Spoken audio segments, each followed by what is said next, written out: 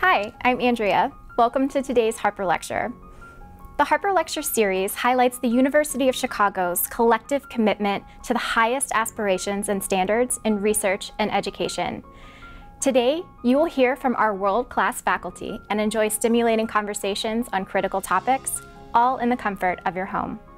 We extend our appreciation in advance to our global university community for their collective efforts in supporting the mission of the university in today's deeply challenging environment. Technology has allowed us to remain connected and engaged, and tonight, you too will be part of the conversations. A couple of notes. All participants will be muted. However, we do encourage you to ask questions. We will have plenty of time for questions at the end of the presentation. If you have issues with audio, you may want to shut down your programs running in the background or dial in from your phone. Hi, I'm Colin. On behalf of everyone at the UChicago Alumni Office, we offer our deepest gratitude and appreciation for your continued support. We're proud to be part of this community as it has come together during these trying times to invest in our students, empower our faculty and scientists, and extend care and connection. And now it's my pleasure to welcome you to the 41st season of the University of Chicago's Harper Lecture Series. Thank you for being with us. Enjoy.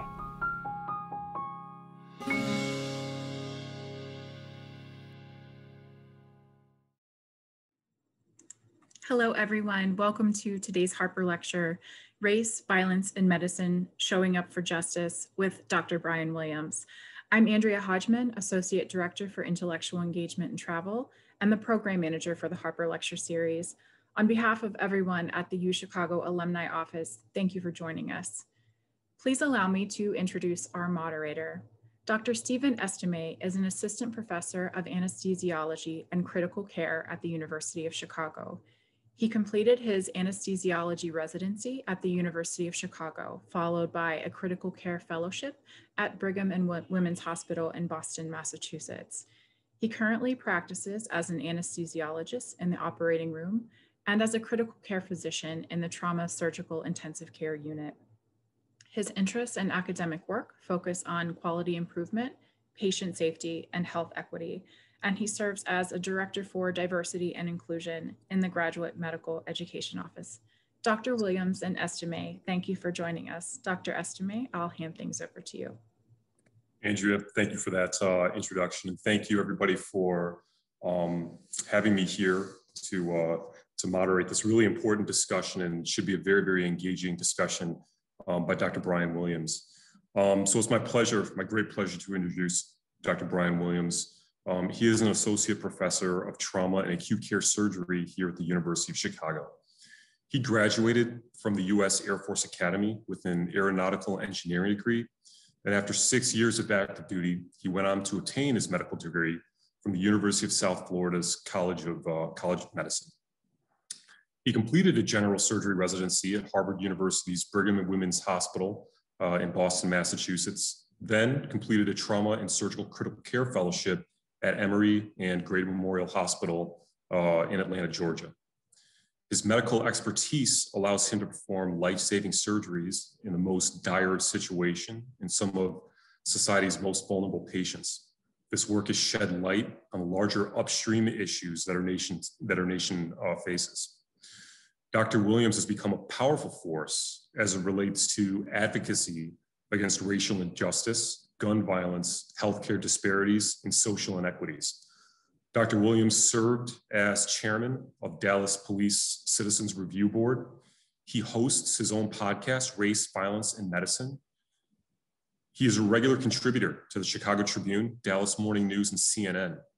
He's also a passionate educator, leader, mentor to students, residents, fellows, and many attending physicians alike, including myself. He's an author, father, husband, friend, and an overall great person. Without further ado, I give you Dr. Brian Williams. Dr. Estime, thank you for that invitation. And I want to thank all of you for the privilege of speaking this evening. Now, as we move into 2021, I've given a lot of thought to what 2020 meant to me And there is a lot to unpack about that year, personally, professionally. And uh, there's a couple of moments during the year that really stand out to me as seminal moments. And one of those occurred just before Thanksgiving. And if you recall that time, we were, as a country, moving into the second wave of the COVID pandemic. We were getting recommendations not to travel for the holidays, to avoid large family gatherings, which you know it's kind of challenging for those of us that had been uh, separated from our families for for months on end. And one morning, I was actually getting prepared to give a talk, and my phone rang. And I looked at the caller ID, and it was it was from home. My parents live in Virginia, and I, I don't know if you got about you, but I've had that pit in my stomach that I was about to get bad news because this is not the time of the day for my parents to ever call me, nor during the week at that time. So it was out of character. And I just had this sense that this was not going to be a phone call I wanted to take. Uh, I answered the phone, it was, it was my mother, and she said, Brian, your father, he wants to go home, which to my parents, their home was Florida. So they wanted to drive from Virginia to Florida. And I said, Mom, you cannot travel right now. COVID is out of control. You're both elderly. My mom says she's not elderly, she's sub elderly. But I made my argument that you have comorbidities, it's not the time to travel, please just stay home. My father was having none of that, which uh, not surprising to me, uh, especially when it has to do with family. And then my mom gave me the punchline. She said, We're going, your dad wants to go, it's your cousin. She's been shot and she's been killed. So at that moment, everything sort of shifted for me. Uh, I stopped being the son advising my parents and shifted into this mode of being a trauma surgeon, which is sometimes difficult for me to turn off because I've been dealing with violence for so long. So when I hear about gun violence and it's my cousin who's female, immediately my mind starts running through these, these stats that I know, but that are actually useless to my parents at this time, knowing that since this was a female, that this was probably an incident of intimate partner violence because I know that women are five times more likely to be killed by a male partner when a gun is involved, or that Black women are three times more likely than white women to be killed by intimate partners with a gun. And something that lives my day to day is that 50% of all firearm homicides are uh, African Americans. So I, I, see this the world through this lens of violence and race, which is, you know, I'm not complaining. It's just that I've chosen this this uh, profession, and I want to do it well. And when these things like this happen, my mind just goes off in these different directions. But I began to think about these things a lot differently since I've arrived to Chicago, particularly when it comes to gun violence and what that means in the larger context of health, achieving healthcare justice. Now, this is not a talk about gun control. This is not a talk about the Second Amendment. This is just using gun violence to illustrate some larger issues.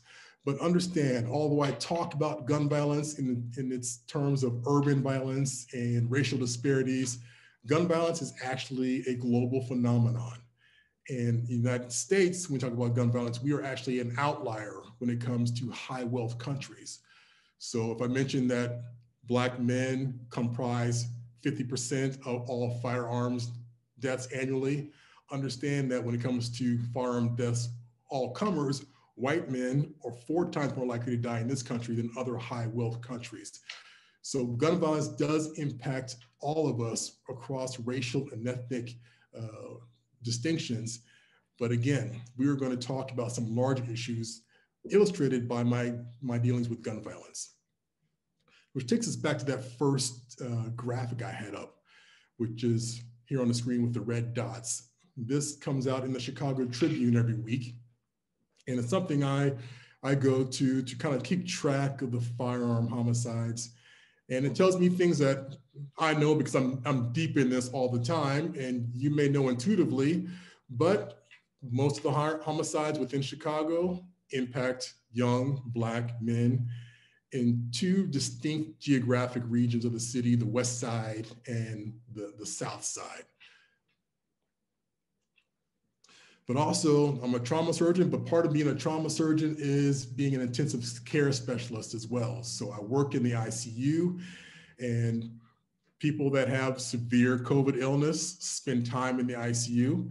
So I was also keeping track of those numbers as they impacted Chicago throughout 2020. And one day I saw this map that showed the COVID deaths in Chicago. And the purple dots represented Black Chicagoans who were dying from the disease. And I immediately got just chilled without my spine. So I looked at this map. It resembled the map I saw for gun violence. Same regions, same racial disparities, and Black Chicagoans were dying at far more the rate than their population of the city. So if you look at these maps individually, they may tell a story. One about gun violence, one about COVID, but together a much bigger story behind all this. Which brings us now to 2021, where the vaccine is now out, right? We're kind of turning the corner on the pandemic. We have this vaccine, and I was watching how the vaccine distribution was occurring throughout the city, and I came across this map, uh, actually from one of my partners or one of my colleagues in pulmonary critical care here at the university, put this together. And it shows that, look at the blue map, the dark areas are where there is the highest uptake of vaccinations and the light blue areas were the lowest uptakes. And the low uptake of vaccines also overlap the areas where we had the highest levels of gun violence and the highest level of infections and deaths from COVID. From COVID. So those that were getting protected with the vaccine, it was the inverse of those who were being infected and dying from the vaccine. So that's a third story. We have one about gun violence, one about a respiratory pandemic, and one about vaccine equity. But I will readily admit that I did not give much thought to these larger issues for a long time. I felt I'm a doctor, I'm a uh, trauma surgeon, I'm an educator. So my job is to be the best surgeon I can be and be the best educator I can be and just focus on that. And these larger issues, uh, they were beyond my purview. But I recognize that that is not the case. There is more that can be done. And for me, it kind of it took a tragedy to wake me up to the reality that there was a larger role I could play individually. And I think there's a larger role that all of us can play when it comes to achieving healthcare justice. And that occurred on July 7th, 2016 in Dallas. So prior to my coming to the University, University of Chicago, I was on faculty at, uh, in Dallas, Texas, and I was there for nine years working at Parkland Hospital, another busy uh, urban community hospital that deals with a lot of gun violence. And if you recall, 2016, this was the summer of the election between Clinton and Trump. This was also a year that we had these high profile mass shootings. Just a few weeks before this, there was the Pulse nightclub shooting in Orlando, Florida. And also the day before this, on July 6th, was when Philando Castile was shot and killed outside of Minneapolis. His girlfriend streamed his death on Facebook Live. He was pulled over for a routine traffic stop. And with, within seconds, uh, he was shot multiple times, two of which pierced his heart. The day before that, on July 5th, was Alton Sterling in Baton Rouge, Louisiana, who was restrained on the ground and shot and killed at point blank range. So we had 48 to 72 hours of violence and high profile deaths that involved Black men and police officers. So on July 7th, there were peaceful protests scheduled to occur all across the country. But the one that people may remember, if you remember any of them at all, is the one that happened in Dallas, because that is the one that turned deadly.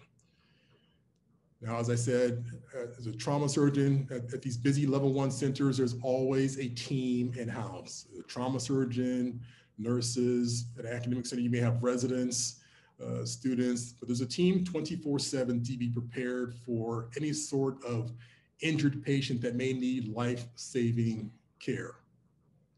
So when I went into work this night, I had no expectation of what was about to happen. I knew there were protests. I knew there was one in Dallas. I was aware of the violence the past couple of days, and I was aware of the public narrative that was occurring that was Black Lives Matter and Blue Lives Matter and All Lives Matter. But as I walked into work that night, this was furthest from my mind. At the protest in Dallas downtown, which by all accounts began peacefully, there was collegiality between law enforcement who was there providing security as well as the protesters. There was a shooter, African American male, a military veteran, who was there with the intent of seeking retribution by shooting white police officers. He shot 14 officers and 17, or excuse me, seven of those officers were brought to the hospital where I was working that night with, with the team. And this occurred pretty quickly. Ordinarily, we get some notification in advance of injured patients coming in. But on this night, with no notification, they just showed up because downtown, the shooter was targeting officers so quickly that as they were injured, their partners would pick them up, put them in the back of squad cars, and just take off and come to the hospital. So pretty rapidly, we had to flex into our mass casualty response. Of those seven officers that arrived, three uh, died from their wounds. And I still think about this night to this day. It is the worst night of my career and one that I, I'll never forget. And although I've tried to run from it in many ways, I've now come to the point where I realize that I have to integrate this tragedy into my life and try to bring some good out of it. But back then, I did what I do best, which was avoid it, compartmentalize it, try to pretend it didn't happen. And for the days after the shooting, I did not watch the news. I did not read the newspaper, no radio. Uh, this was a dominant story. It was a constant trigger for me. And I had this loop in my head about what happened, and I did not want any sort of uh, reminder of what had happened that evening. But then came Monday, four days after the shooting, and one of my partners contacted me and said, Hey, we're going to have a press conference today to talk about the shooting. And I'm sure we've, we're kind of used to these, these press conferences that occur after these mass shootings. And I immediately said, I'm not going to this press conference. I don't want to be there. This is the worst night of my life. I shouldn't not worst night of my life, worst night of my career. At the time, it was constantly just running through my mind about the fact that these three officers had died. That night, after I talked to one of the police officers' families about uh, the death of their, their son, uh, it's a conversation I always want to get right because none of us wake up expecting that we or someone we love will die from an unplanned traumatic death. So when I have this conversation with the family, I want to get it right because I do not want to add trauma on top of trauma.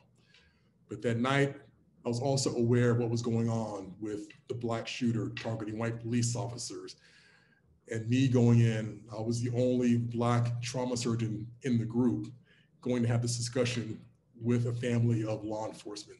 So there was a lot of hot button issues wrapped up into this one event, but that did not inform how I approach this because we in healthcare, we have to recognize the commonality of the human experience of everyone we deal with.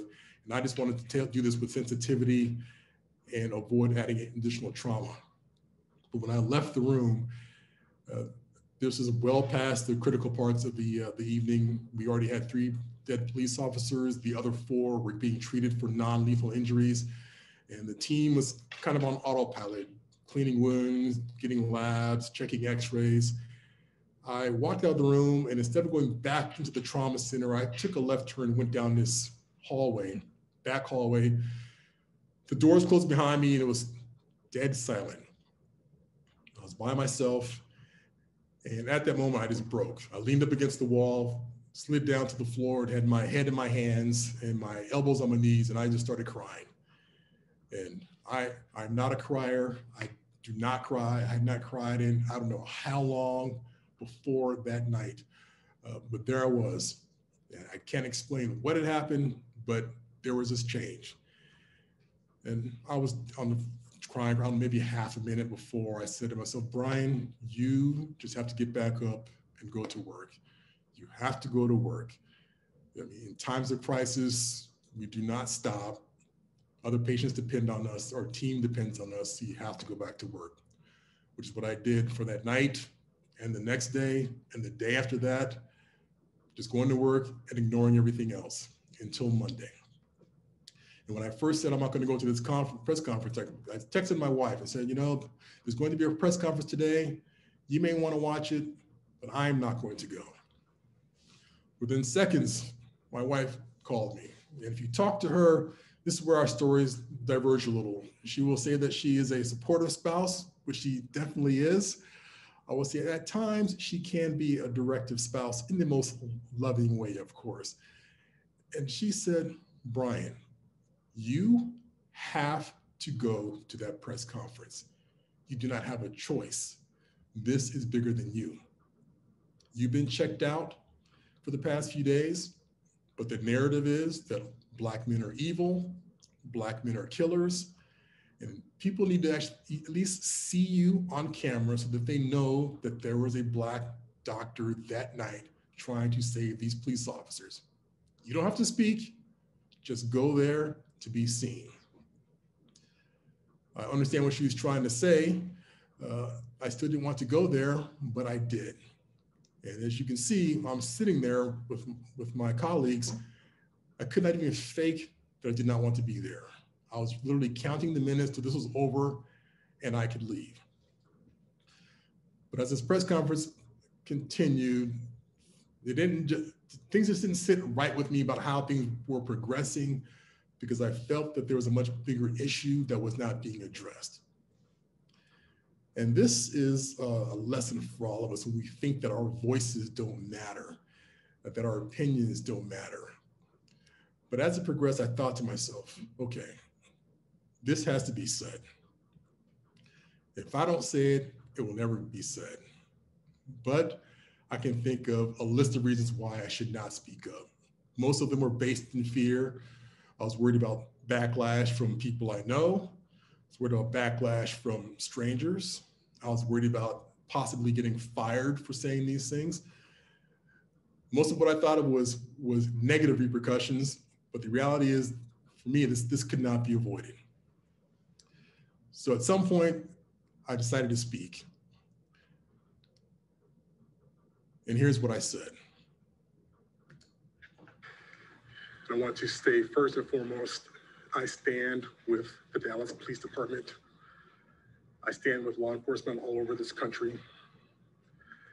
This experience has been very personal for me and a turning point in my life.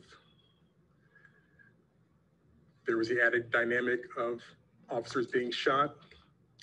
We routinely care for multiple gunshot victims. But the preceding days of more Black men dying at the hands of police officers affected me. I think the reasons are obvious.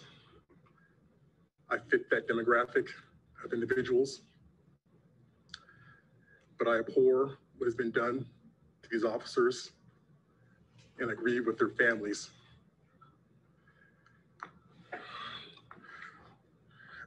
I understand the anger and the frustration and distrust of law enforcement, but they are not the problem. The problem is the lack of open discussions about the impact of race relations in this country. And I think about it every day. that I was unable to save those cops when they came here that night. It weighs on my mind constantly. This killing, it has to stop. Black men dying and being forgotten, people retaliating against the people that are sworn to defend us. We have to come together and end all this.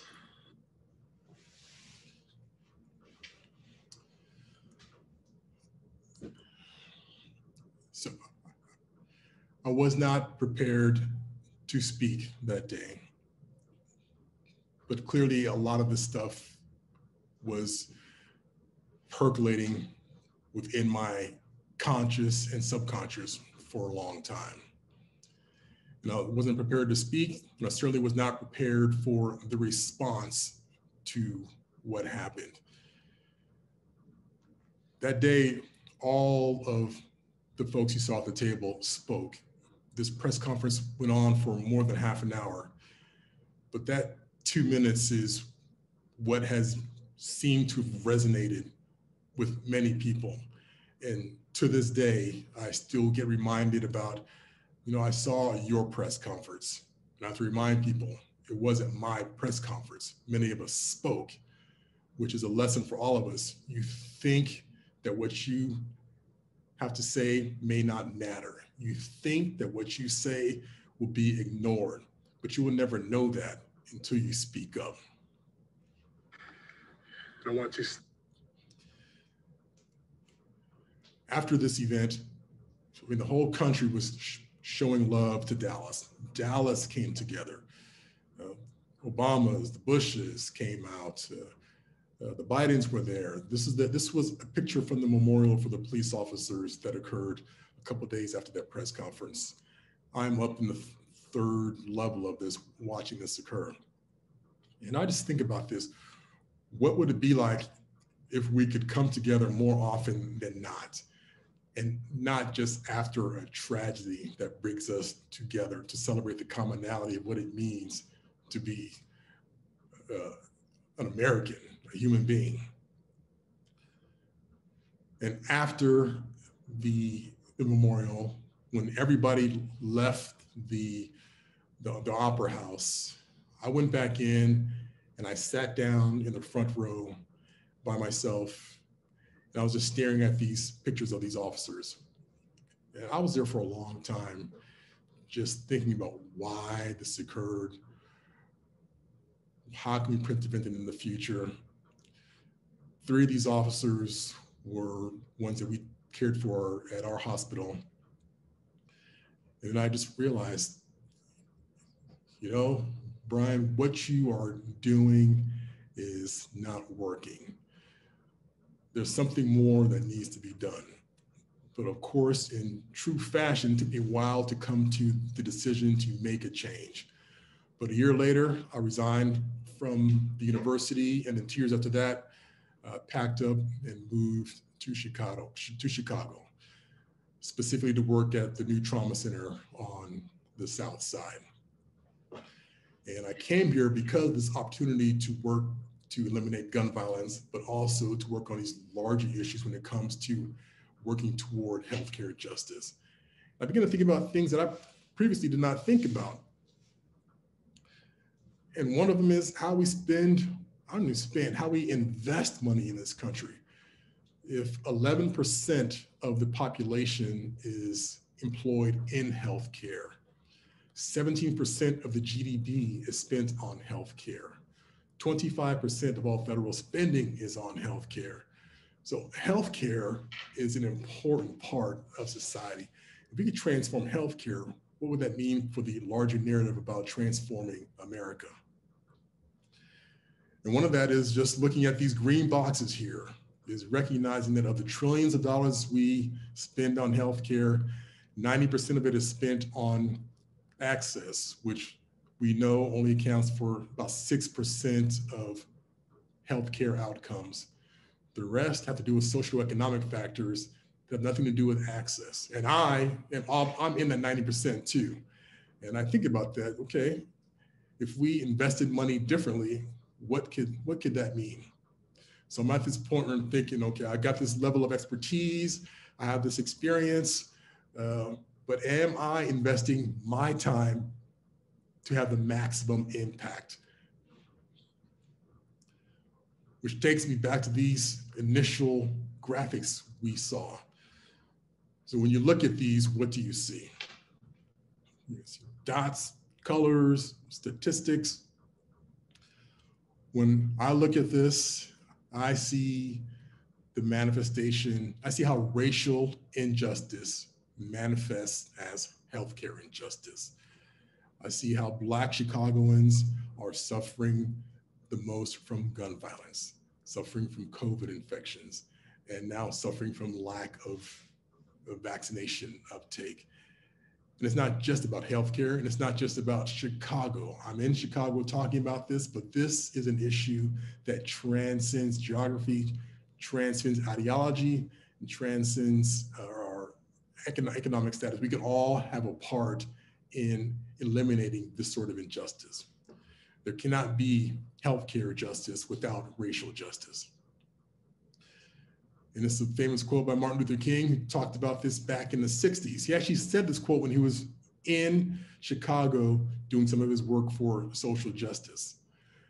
And we hear this quote a lot during this time of year around his birthday. But back then, when he said this, he was excoriated in the media and public opinion.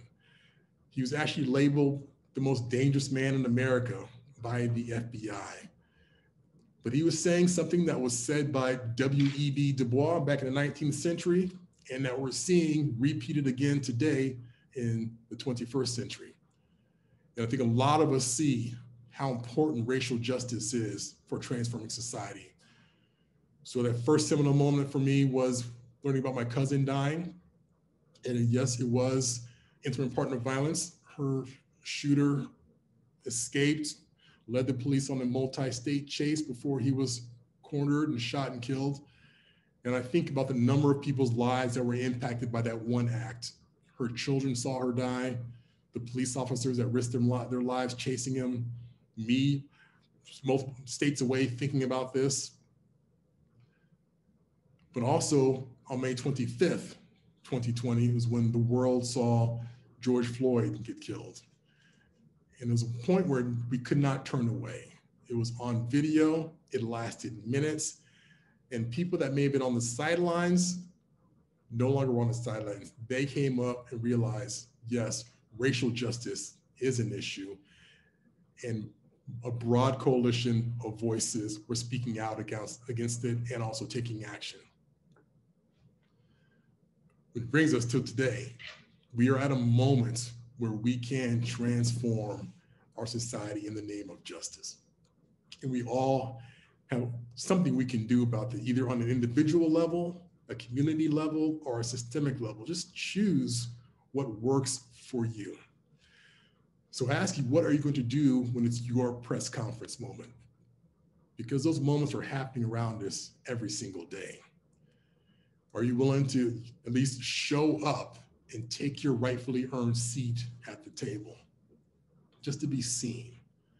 And if you're there, are you willing to actually speak up to make sure that your voice can be heard? Because there is power in testimonials. And if you can't show up and speak up, can you speak up for those that may never have the opportunity to be at the table? Because that's how we achieve justice. To paraphrase supposedly Ben Franklin said this, but there's been some debate.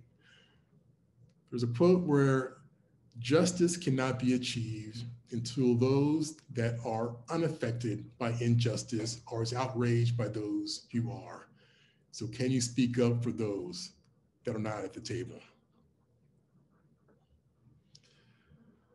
thank you for this extreme honor to speak to you all this evening. Thank you, Andrew Hodgman, for the invitation, Dr. Estime for moderating this session. And I want to wish you all peace and strength and sanity for sure. We're coming around the corner for this pandemic, so I want you all to stay safe. And I'm happy to take any questions at this time. I want to thank you, Dr. Williams, for giving just a phenomenal talk I mean, every every time I hear a version of this, I feel like I want to run through a wall and uh, you know sing it to the mountains. So I mean, phenomenal talk, and it's unbelievable to hear that uh, you know hear that story. So um, please, I want to remind uh, all of our pan or all of our guests, our participants today, um, to use that Q and A box to to ask any questions um, that you have uh, for Dr. Williams. I'm going to start off with a couple of my own questions, and and you know a lot of these, a lot of these, I'll I'll be frank, probably won't have a definitive answer, but hopefully it opens up dialogue for uh, for much needed discussion. So, Dr. Williams, you know, my first question is when you know when I hear about your experiences, your credentials, what you've done, and the exposure that you've had, you know, it, it seems like you know you're really ripe for um, for an advocacy platform, just given the fact that you know you you are a trauma surgeon, you feel this, you breathe this, you live this day in and day out. What are what about those that perhaps don't don't have those those credentials, or maybe don't feel like they have those credentials? I know for myself as an anesthesiologist, I definitely didn't feel like I had at one point those those credentials to, to, to sort of speak out from what I see. So what do you say to those individuals that, that perhaps don't feel like they have any kind of existing platform to speak from? How do they get themselves involved in, in advocacy, in speaking out for what they believe in? Well, most importantly, I feel all of us have a story and all of us have power with our voices and, and testimonials. And you're right, you and I have these credentials, and that gives us a certain degree of privilege, right? We can go into different arenas and have this discussion. You and I dealing with gun violence, we could probably go down to you know Englewood and talk about gun violence, and we can also probably go up to River North and have a, have a discussion about gun violence. Our audiences may be different, and how we approach the discussion may be different, but we can still talk about these larger issues in ways that hopefully will resonate with audiences.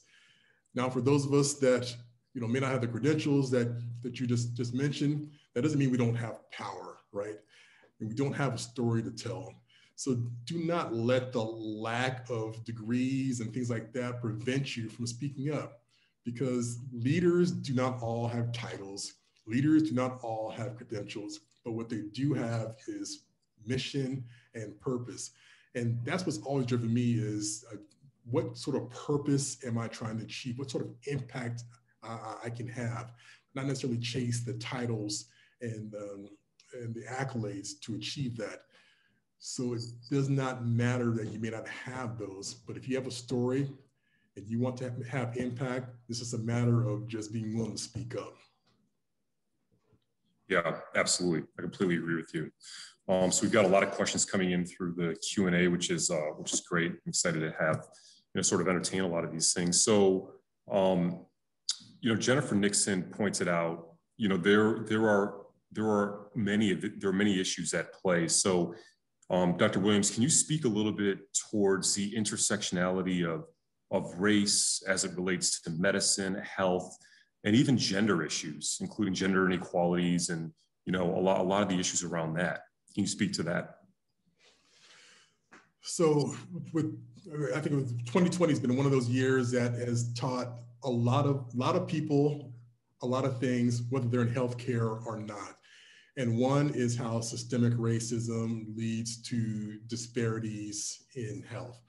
And when I talk about systemic racism, I'm not saying we have a system full of racists. There's just completely different things. We're talking about systemic racism. We're talking about structures that have persisted over time that were intended to isolate particularly Black Americans from the rest of society. Uh, for example, in Chicago, the Dan Ryan was put where it is specifically to isolate Black Chicagoans from the rest of the city. Uh, if we look at the National Housing uh, Act and redlining, those were intended to isolate Black, uh, Black Americans in certain communities. But what has happened over time is that because of that, that's led to economic divestment, uh, which leads to uh, increased uh, violence, income inequality. If you keep going down this rabbit hole, we, we see that the, the systems that were intended to perpetuate racist policies continue to leave Black Americans in, uh, at a disadvantage. So if we address those systems, we can transform society. And I think when we do that, if Black Americans benefit, everyone will benefit. Nobody has to give up something for that to happen. And when it comes to gender, there are similar issues of uh, discrimination and inequality within medicine. But if we go back to, to see how racial justice has progressed, you will see that there has been concomitant progress within gender equality, with gender identity equality. Uh, it just seems that when blacks, black people are, are, are, benefiting, many other discriminated groups within American society are also benefiting. So we're not on different teams. We're all working towards the same goal, which is just to recognize the commonality of the human experience, regardless of our race, ethnicity, gender, gender identity. We all just want to live happy and fruitful lives and be safe within the communities we live. And that can, that can be achieved. Yeah, I completely hear you. I think a lot of times there's so there's there can be sometimes a tendency to say, oh, this is a this is a black white issue, this is gender issue, this is I mean, all of these are issues and they all need to be addressed and they should all be addressed um, you know, sort of uh, together, you know, in a, in a lot of ways. So I completely hear what you're saying with that. Um, we're getting a lot of questions here, and I think it's, um, you know, in, in, relation to healthcare disparities, and um, you know, are there are there policies out there, or you know, what what are what are ways that that we can address healthcare disparities? Because I mean, I think that really was um, my big takeaway from from everything that I saw in 2020 and even into 21 uh, 2021 the degree and the effect that healthcare disparities have on our population. So what, you know, what's being done locally for this? What's being, being done at a state level? What's being done federally? What works? What hasn't worked?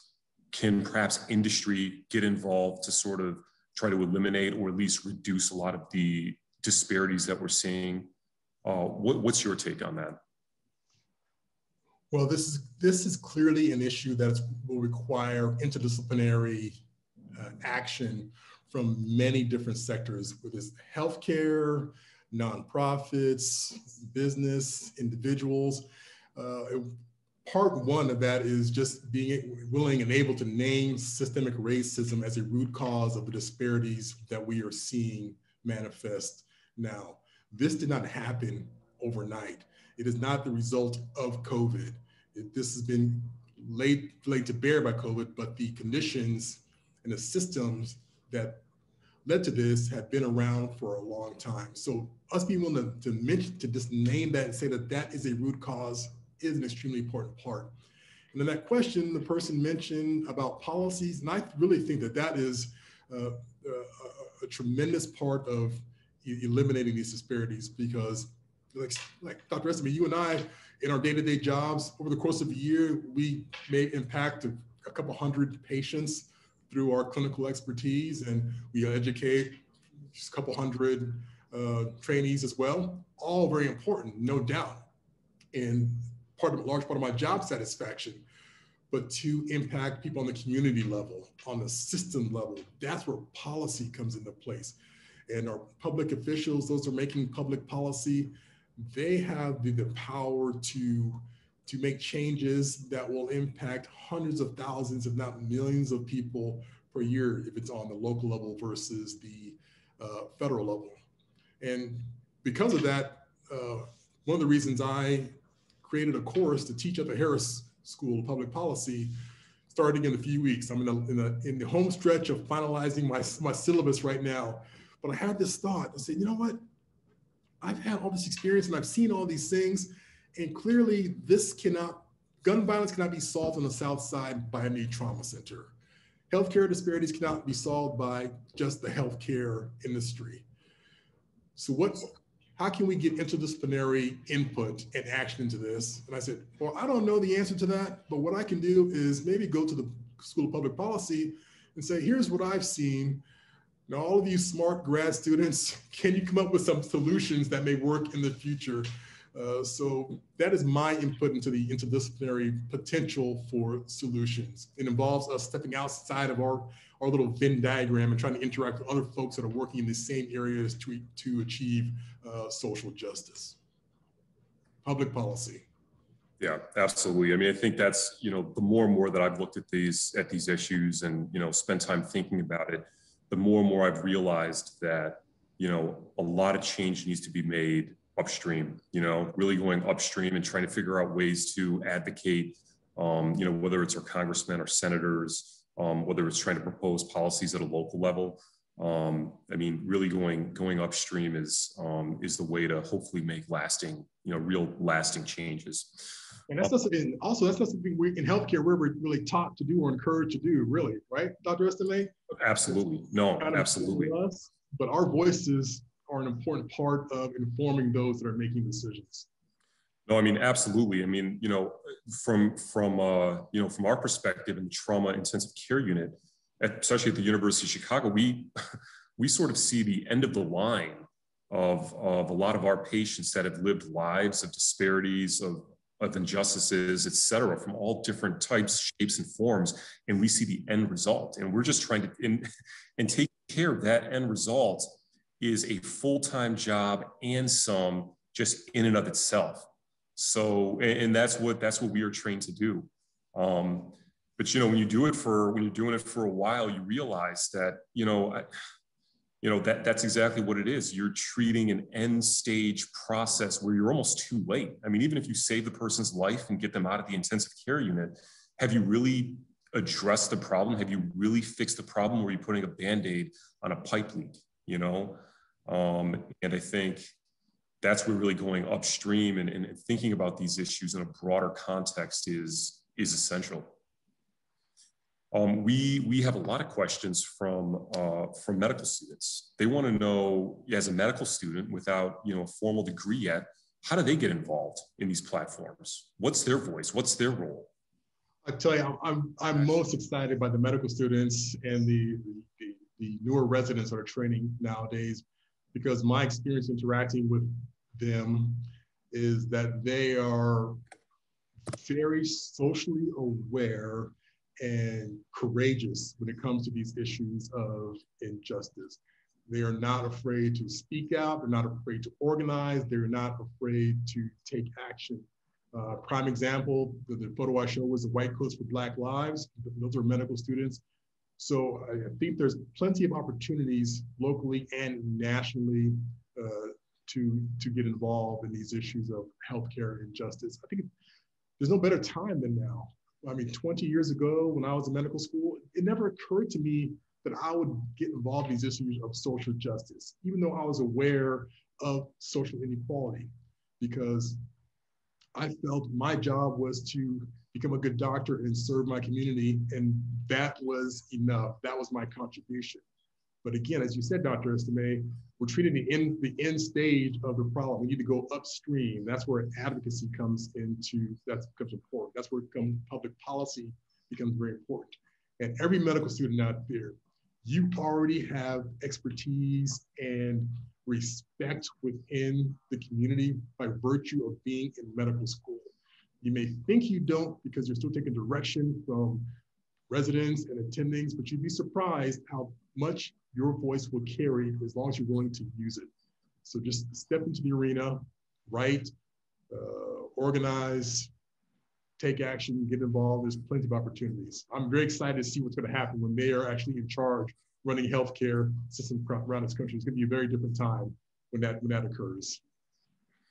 Yeah, I would say that um, you know, from a from medical student level, it's unbelievable the the you know, it doesn't feel doesn't feel that long ago that I was a med student, but you know, I guess it has been because the curriculum and the questions that are coming out and the way that these medical students are coming out now and, and thinking about questions from uh, really a societal level is is just so far beyond what where where me and my classmates were at. And I think going into going into it, it doesn't have to be necessary. It doesn't have to be medical school at all. I mean, there are so many different um, ways to to to get this done, and so many different routes um, to really be an advocate. Medical school is just one very tiny slice of what can be done.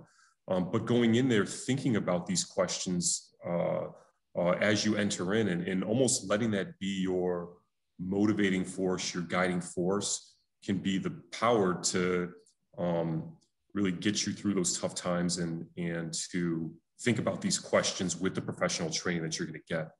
Um, what about, well, let me ask you this, because this is actually a question that Amani Owens had uh, as well too. What about, what about even those that maybe aren't in medical school, maybe are even further down, maybe they're perhaps they're high school students, perhaps they're, you know, an undergrad you know, are, are there specific things that they can get involved in to help with issues like gun control and equitable healthcare? I mean, because it, it is, it does, you know, the these problems are so big, it's hard to think like, hey, I'm just in, I'm an undergrad. How do I, what do, what do I do? So I guess, what specifically can they do, Dr. Williams, to, to do it? Right. So you're right. These seem like just tremendous, insurmountable uh, problems that are that we were unable to solve. And within that, I just see opportunity. Even after this last year, with all the tragedy we've dealt with, with uh, you know deaths and uh, the COVID and COVID deaths, and uh, you know all the sorts of violent deaths that have occurred within uh, the country, I see opportunity, right? Because we see what happens when injustice goes unchecked and we see that there is potential for us to transform society so this does not happen again. So if the, the best time to plant a tree is 10 years ago, right? That's what we say. You want to plant a tree? Should have done it 10 years ago. So right now in 2021, it is time for us to plant our social justice tree for the next generation, for 20, 25 years from now. And you know, high school students, far be it for me to tell you to, uh, to, to be insubordinate to your parents because you are, you are minors, but do not underestimate the impact you can have. You just have to do you. You have, you have to be you. And part of that is being curious about the world around you, being willing to step outside of your, your comfort zone, and then finding what it is that works for you if you want to have positive impact on the world. You have to do that consistently with integrity with an eye towards how am I a positive force? How can I have positive impact? And that can be simply just checking your friends when they're saying things that you know are just not in line with equality and social justice. Student newspaper, starting your own podcast. Uh, there are so many avenues now because we have access to uh, share our ideas in ways that you know I didn't have when I was uh, in medical school or, or in high school that exists now. So find out what you're passionate about. Do you do with integrity, consistency, and always with an eye towards how can I be a positive influence in the world. Yeah, I completely. I, you know, I think that um, especially in our age, or in our, you know, in this in society now, the power of social media, the power of really being your own platform, regardless of what your backgrounds are, or who you are. If you've got passion, if you've got drive, um, and you've got tenacity, uh, you know, I can't tell you how many people I've seen become become incredibly, incredibly influential, um, you know, in, in their own space, in their own home you know, just using social media and just perhaps their ability to write or the ability to communicate with producing YouTube videos, et cetera. I mean, I can't, you know. Um, and this just also, Dr. Estime, we use a baseball reference. We don't always have to all hit a home run every single time. Right. We just keep hitting singles, put enough of them together, you'll, you'll score a run. So it's about consistency and staying focused on the end goal. And yeah. anybody can do that. Absolutely, absolutely. You know, I'm getting, I am getting some questions, um, sort of relating to what, uh, what what's next for you, Dr. Williams. I mean, one of these, are Dr. John Ellis, who, um, you know, so are you considering running for an elected office? I mean, where does all this, you know, where does where does all this work um, eventually go for you? Yeah, I'm, I'm in, I'm in this evolutionary stage of, I mean, of just life in, in general. And I feel like at the University of Chicago, I'm in a perfect place at the perfect time for all of these things I've discussed that have been weighing on my mind or coming together at a point where I could put that into practice every single day.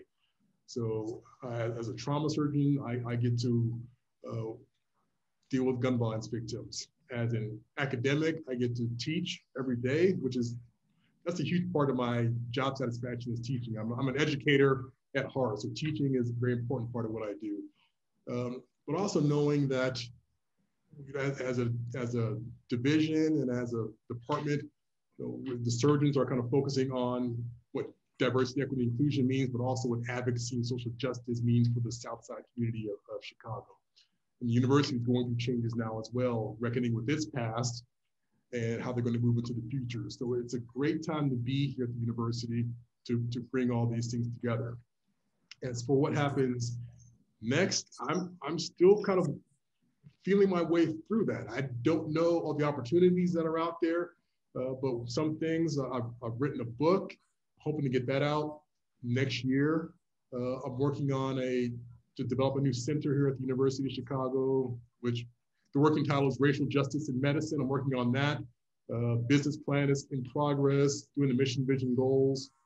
Um, so I've learned that that is a multi-year project. I had my idea. I was like, I'm ready to go. Let's get it started. And then, of course, I ran up against them. Dr. Williams, slow down.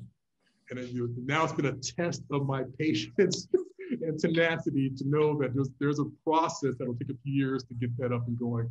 But that's the thing I want to to uh, to get going is a center that is has a tripartite mission of research and education, but also advocacy. That would be interdisciplinary, you know, not just healthcare, but uh, legal, uh, social sciences, uh, business, to like how do we work together on these these these large problems and contribute to transforming uh, society. Then uh, there's one other thing that I'm, I can't talk about just yet, but when that occurs, that'll be the next that'll be the next stage that will help me learn the things I need to make that center of success and my role here at the university uh, much broader, I think much more impactful for uh, the city of Chicago. Yeah, well, I'm going to be definitely uh, eagerly, eagerly listening in and waiting. And I'm not trying to be coy. I'm not trying to be coy. I've just, we've just been told you cannot talk about this just yet. But when it does, okay. I'll call you up, Dr. Estime. I'll let you know. My phone is on. My phone is on. Um, and you know, uh, Dr. Brian Williams, for those of you that don't know, is very, very active on social media as well too. He's got a, um, a Twitter, you know, account that has lots and lots of followers. So you can keep up to date, um, keep up to date with what he's doing and sort of where he's going on that um, in addition to his website as well too. Are there other ways that um, people can follow you if they're if they're interested in sort of looking at your trajectory and and, and seeing where you go? Uh, probably one-stop shopping is I have a website, brianwilliamsmd.com. I spell Brian with an, with an I. And on there it has my social media tags for LinkedIn and Twitter. Uh, I'm most active on Twitter. I pretty much, I have an addiction. I just clearly admit that whatever algorithms they use to program people, it's worked on me and it's paying off hugely for them. Uh, so just go to my website and uh, sign up for my newsletter as well. I kind of keep people up to date, up to date frequently uh, through the newsletter. Uh, so that's the easiest way to, to, keep track of me. And I think I shared my email in the uh, in the slides as well. Feel free to email me anytime. A lot of individuals have also asked about, you know, how your experience has been in Chicago um, particularly uh, in comparison to, to, to Dallas and, you know, perhaps how the platform has changed, perhaps some of the differences that you've seen between the cities, maybe the responses to uh, some of the violence that you've seen. What, what sort of, what are some of the differences that you've seen between the two cities and, um, you know, what's, what's, yeah, what's your take on that?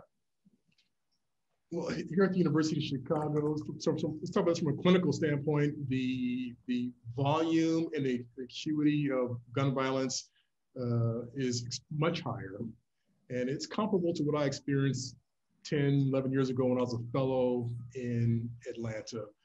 Uh, but clearly, the new trauma center, there was a need for it on the south side. Uh, we have a penetrating rate of about 40%. So four out of 10 people that come in are shot or stabbed. Most of them are actually are shot. And, uh, you know, it's not something to celebrate. That just shows that there was a need, but that there is much more to be done to eliminate that sort of violence within the South Side. And just being a, just the trauma center is not, not enough for that. So I, see that there's an opportunity that can involve a lot of the university because uh, we're fortunate here at the University of Chicago that there's all these other schools here that are working on huge problems. I mean, we have Nobel laureates that are walking the halls of the university. So how lucky are we to be able to be in this environment where uh, if I want to talk to, you know, world-class attorney about something, uh, I could do an email and possibly actually have lunch with that person with a mask on, socially distance, of course. Uh, those are the opportunities that exist here uh, in Chicago that really excite me is the, the potential for interdisciplinary collaboration to solve big problems that impact Chicago, but also could be a, be a model for the uh, rest of the country. And which is part of the motivation for my course at the Harris School and for my you know, working to meet people from other domains within the university but it is so huge. I don't even know where to go all the time. Uh, so I take a lot of shot in the dark quite frequently. So that's one of the, the, huge differences I see here is that the level of violence is, is, the volume is high, the acuity is high, it is it is constant. There is no rest. As you know, Dr. Estime, being in the OR, it's, it's seemingly nonstop. And but it just shows that with that there is opportunity and I think an obligation for us to not just treat patients that are injured, but what is it can we do to go upstream and eliminate the causes of those injuries? And that's where we require uh, interdisciplinary collaboration, folks from many different domains to work on these singular problems. And by doing that, I think the entire city of Chicago will, will benefit if you think about it. Less violence, less policing, less incarceration, uh, businesses may, may uh, reinvest in this, these communities. There's so much that can happen if we eliminate the gun violence. I have grand ambitions, Dr. Estime, grand ambitions. Oh, I know this. I know this. I know this well. Um, so, I mean, I, I think we're going to, uh, we're going to, this has been an excellent, excellent discussion. Um, we, uh, we really only have time for one more question. So I'm going to try to encapsulate all the unanswered questions that we've had. Thank you thanks to all our participants for having just unbelievable questions. And I apologize for not being able to, uh, uh, to get to more of them.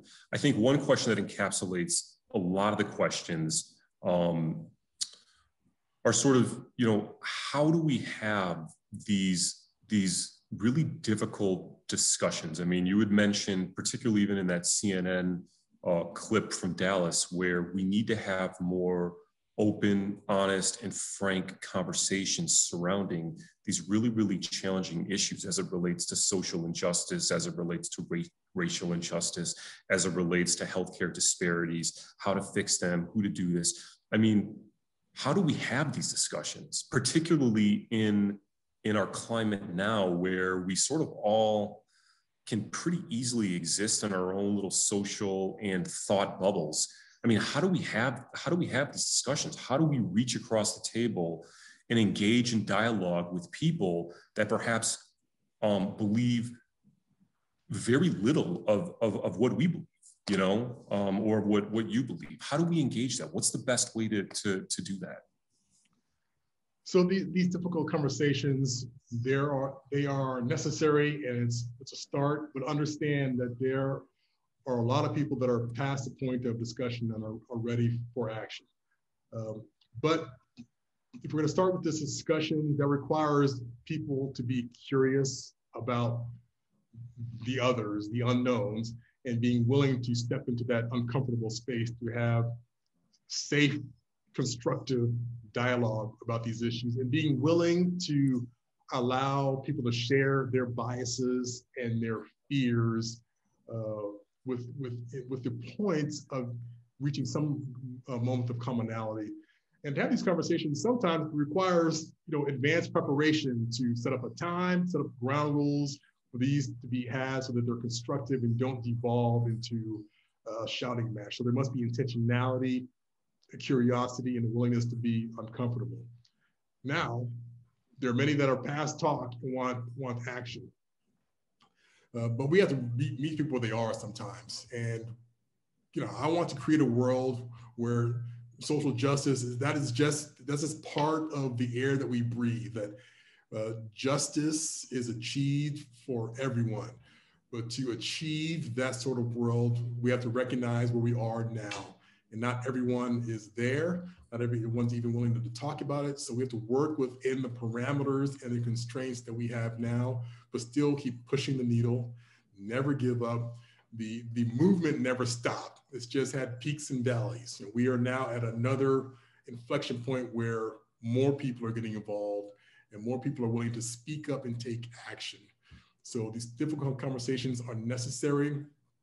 We have to be curious, be willing to be uncomfortable, but also understand that talk is not enough. We have to move from there to action. Completely agree. Um, we are that is that is probably it for uh, for time. I mean, I could do this for another hour, but unfortunately, we've all got families to go to, and you know we've got a time limit here. So, um, any any closing remarks? Anything that you wanna you wanna say before we um, transition back to uh, to Andrea for for her closing remarks? I just want to reiterate my thanks for the privilege of speaking tonight. Again, thank Andrea Hodgman for the invitation and just to tell everyone to never under, underestimate the power of your voice, no matter what you may think of yourself or your importance, you all have a story. You all can make a difference. We all can have impact as long as we're willing to own our individual stories and power and be willing to share that with others. That's how you recognize the commonality of the human experience, and that's how we make change. Thank you. That's great. Well, thank you, Dr. Williams, for sharing your knowledge, your insight, and for um, you know very very entertaining question or very very very entertaining discussion, uh, rather. Um, and I will uh, transition now to, to Andrea. Andrea, the floor is yours.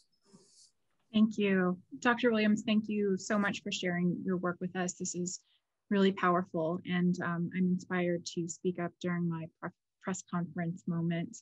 Um, and I, I, just wanted to let you know, I also appreciate a good baseball analogy. So thank you for that too.